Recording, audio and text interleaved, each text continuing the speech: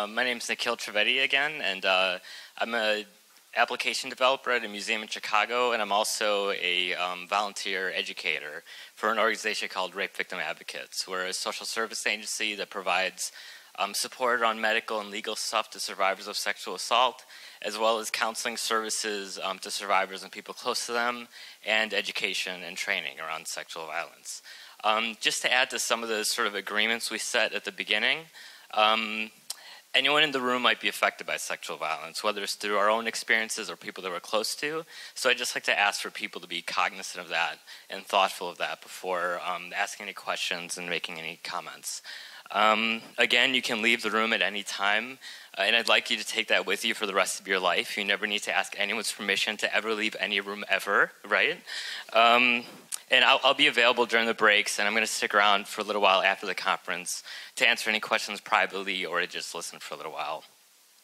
And just for um, a piece of clarification around language, I'm going to be using the term woman in my talk to reference anyone on the gender spectrum who's a target of sexism and sexual violence. And I recognize that that includes people who may not identify as the word woman, and this is stuff that I'm still trying to figure out and learn from. So if anyone has any sort of feedback around language, I'd love to hear your perspective after the talk.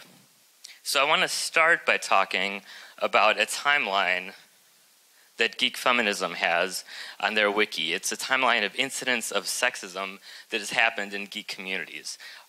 Are folks familiar with this timeline? Have people taken a look at it?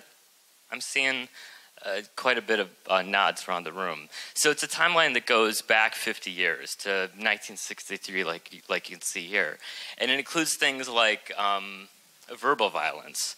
Uh, sexist jokes, um, shitty things people say about other people's bodies and stuff like that. It includes things like stalking and sexual harassment. It includes things like murder and rape. And these are things that happen in geek communities, including tech spaces, conferences, and meetups and things like that. So, has anyone in this room, I'd like to ask, and I don't want to ask you to share anything you're not comfortable sharing, of course, but if I may, could I see um, a raise of hands of anyone who's ever experienced something that could, that could be on this timeline in a tech or gaming community? So there's a decent amount of hands up. Um, so, a follow up question for folks who did raise their hand: Are any of those any of those incidences on this timeline? I don't see any hands up raised in the room. Right. So, did I? Right. Um, so, so the, the, link to the timeline is here. Um, but if you've submitted the thing that you're thinking about to the timeline, I'd imagine you may know that it's on there, right? But nonetheless, I'm not seeing any hands up in the room. So this timeline is significant and it's important, right? Because it documents some really egregious things that have happened in our communities. But I want us to look at this timeline as only a slice of everything that's, that's happening and that has happened in our communities. Because we know that a vast majority of sexual violence goes unreported, because rightfully so, people generally don't feel safe sharing what, what's happened to them. So this so I want us to look at this timeline and think about this timeline, but also recognize everything that's not on this timeline. Um, and I want us to look at this timeline in a few different ways, right? I want us to look at this timeline through the lenses of the layers in which oppressions operate. And if you're not familiar with those layers, it's personal and interpersonal. So this timeline is a series of real incidents that have really happened to real people that have really been perpetuated by real people. So the personal and the interpersonal. I want us to take a step back from that and also look at it at the community level. These are incidences that as a community we've allowed to happen. And I want us to question the ways in which, as a community, we actually perpetuate this kind of behavior to happen. Taking a step further from that, further back from that, I want us to connect with the societal level of the, the way in which oppressions operate and recognize that the things that are happening in our community that allow this stuff to happen, that perpetuate this stuff to happen, isn't in isolation, right? It's connected with the ways in which women are treated overall in our societies. And if we take it a step further back from that, I want us to look at it at the institutional level. And when I talk about institutions, I'm talking about things like governments, like, like the system of academia, large institutions in our society that set policies or don't set policies that allow this stuff to happen. And again, question ways in which our institutions may be perpetuating this stuff to happen. And I want us to look at it in all these different ways because even if someone's not a direct target of this sort of violence, of sexual violence in our communities, all these incidences add up, right? All these incidences culminate to create this climate that sends a message to women that our spaces aren't for them, that, are, that they're not welcome to our spaces, and that they're not safe in our spaces, right? And I want us to recognize that we can't talk about sexual violence without also talking about racism, without also talking about classism and homophobia and transphobia and all the ways in which power is unevenly distributed between people in our world. Because sexism and sexual violence exist in parallel with all these other oppressions and are connected with all these other oppressions. And we can't talk about one without talking about all the others. So I want us to keep our minds connected with all those different ways that oppressions operate in our societies, because we're talking about all of them at the same time right now. And there's an interesting contradiction here when we look at this timeline, right? Because a lot of us have found our people. I'm putting our people in air quotes I don't know why, really, but um, a lot of us have found our people in these spaces, right? Lifelong relationships that we couldn't imagine living without, right? For a lot of us, these tech and gaming spaces are some of the safest places we've ever found for ourselves. Yet at the same time, clearly for many folks, these are some of the most unsafe places that they've ever been. That's not what I want my community to look like, right? If we want to make our spaces safer for women, we need to talk about sexual violence. We need to be able to recognize it and name it to many varying degrees. We need to have a sense of how to support survivors of sexual assault. And we need to interrupt sexual violence. And that's what I'm here to talk to you about today. Which is kind of a no brainer, right? Like, you'd have to be a fucking jerk not to want to end sexual violence in our communities, right? So what what gets what gets in the way?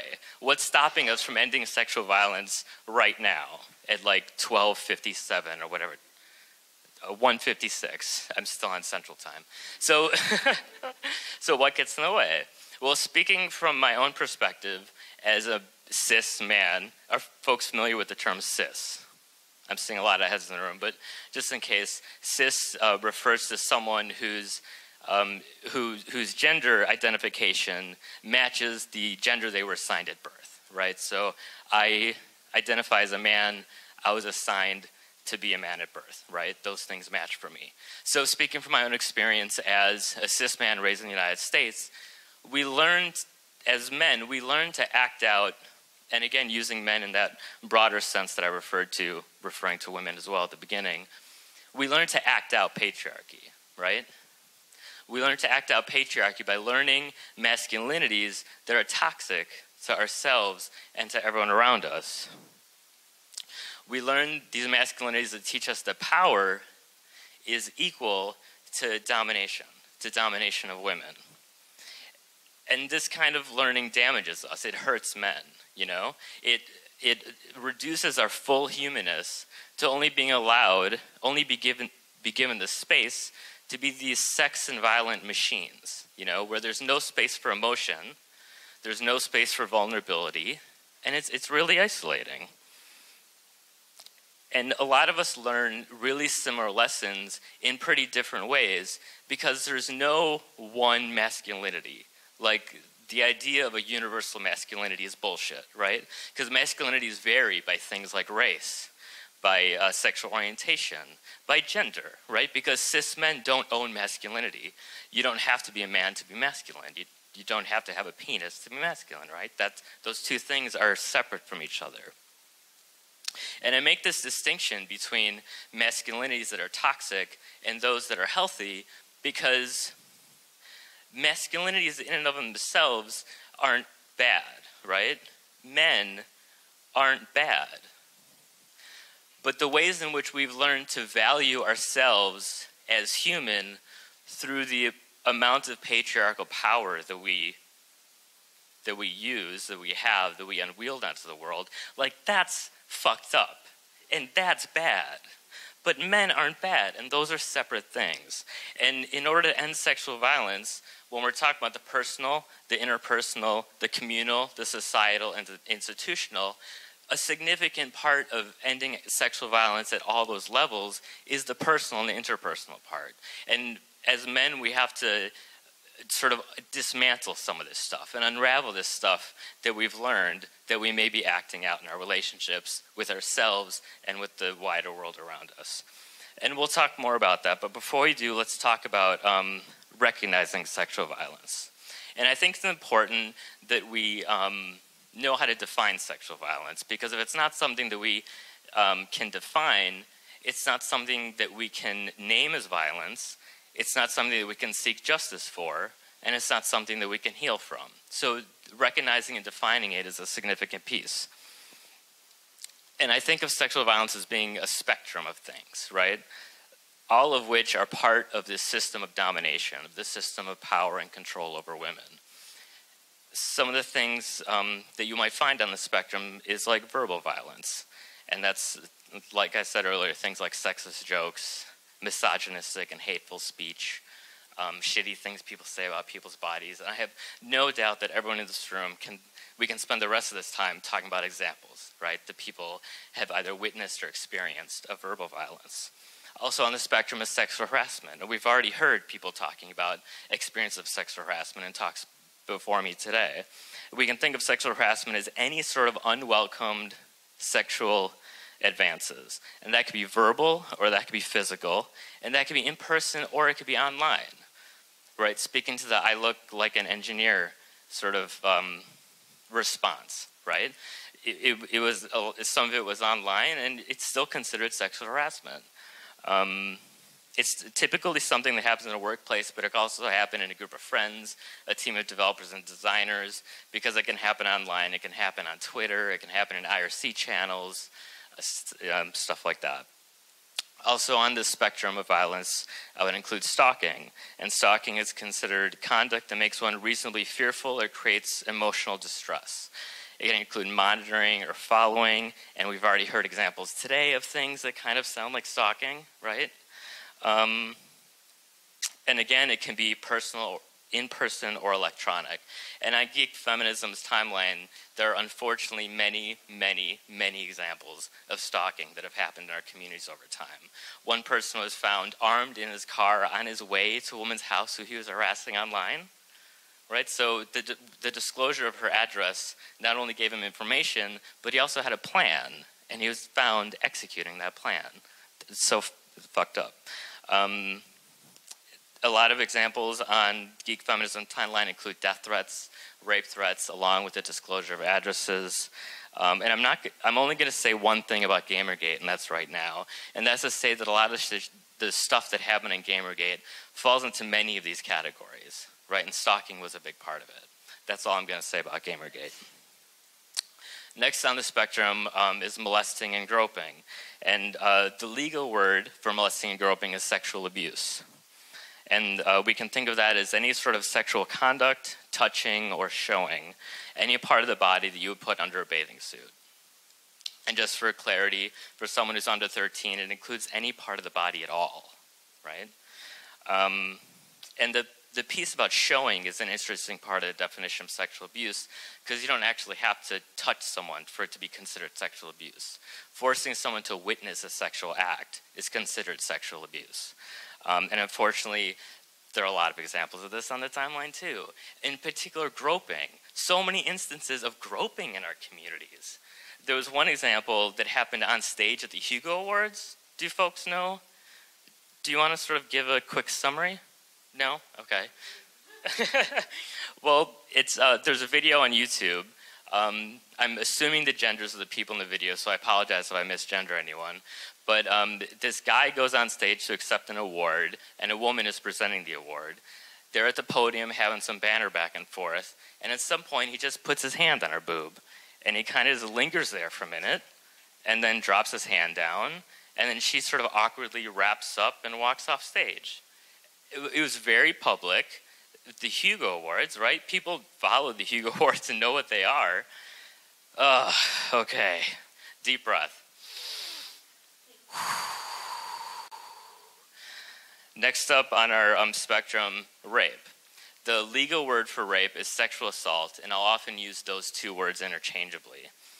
And in the state of Michigan, I'm from the work I do is in the state of Illinois. I, I, looked up the laws in the state of Michigan of how rape is defined here, and it's defined very similarly as it is in Illinois. Rape is defined as any sort of penetration, again, with any part of the body you would put under the bathing suit. Defining rape as any sort of penetration really broadens our culture's narrow view of what rape is, as something that happens between a cis man and a cis woman and involves va- vaginal penetration, right? When we think of rape more broadly as penetration, it includes things like forced oral sex. That's considered rape. It includes things like forced penetration with an object. That too is considered rape. And unfortunately, there are instances of rape that are on geek feminism's timeline. Lastly, um, sexual exploitation. Um, sexual exploitation can be defined as the exchange of sex or sexual acts for basic life necessities. So things like food, water, shelter, protection. It can also be in exchange for things like drugs or money. And sexual exploitation is really like the reducing down of all of one's options to needing to, to do a to sex or sexual act just to survive, just for basic life survival. So, those are all the things that I would consider as being part of the spectrum. And again, these are all the things that sort of contribute to this climate that I talked about earlier. And I want to make a distinction nothing on this spectrum has anything to do with sex. Right? Sexual violence doesn't have anything to do with sex. Sexual violence is about power and it's about control. And the difference between sex and violence is consent, right? Because sex is something that people mutually agree to enthusiastically, right? people mutually agree to before something happens and every step of the way during something happening. At any point, you know, someone could say, hey, you know, I'm up for this, let's do it. Halfway through, like, you know what, I'm not feeling this anymore. It should stop, right? Because at, at, at any point that consent isn't given and something happens anyway, that's when something crosses the line between sex and violence. Nothing up here has anything to do with sex. I want to be very clear about that. So let's talk. Let's just take another deep breath. How are folks doing? I'm seeing a few nods. Okay, cool. So let's talk briefly about supporting survivors. If you only take one thing away from my talk today here, I want it to be this. I want you to hold these three things in your brain, just like tuck them away somewhere for the rest of your life anytime someone discloses something that happened to them, it can be hard for you as a person who cares about this person who's telling you these things. Even if you don't know what to say, if you don't know how to act, just hold these three things in your brain for the rest of your life and say them. I believe you. It's not your fault. You have options. I believe you. It's not your fault. You have options. I believe you because the rate of false reporting of rape is really low. You wouldn't believe it listening to any sort of news in our world, but it's about 2 to 8%, which is exactly on par with the false reporting rate of other crimes, right? And the cards are stacked against people so much to disclose what's happened to them. Just read any comments of any article about Woody Allen or Bill Cosby or Patrick Kane, right? These are the kind of things that people are up against when they share what's happened to them in my view, people have no reason to lie about this sort of violence. I believe you and tell them that, they, that you believe them. Two, it's not your fault, because nothing that anybody does asks for this violence to be brought to them. None of the responsibility of what happened is on the survivor's shoulders. It's a sole responsibility, it's a sole decision of the person perpetrating the violence. It's not your fault and you have options. You don't have to know all, what all the options are. You just have to assure them that there are many, many ways that someone can process this. There are many ways that someone can seek justice from this. Justice doesn't have to look like the criminal legal system, right? There are many ways to seek justice from this. There are many ways to heal from this. So take a look around the room and make eye contact with someone and say these three things with me. Are people comfortable doing that? I'm seeing a lot of blank stares. well, just look at me. Just look at me. And say these three things out loud with me I believe you. It's not your fault. And you have options. So let's talk about interrupting sexual violence. Uh, I think I might be a little over my time. Is um, okay. Just give me a wave if I should stop. So, when we talk about interrupting sexual violence, I want to go back to those levels in which operation, uh, oppressions operate. What were those levels again?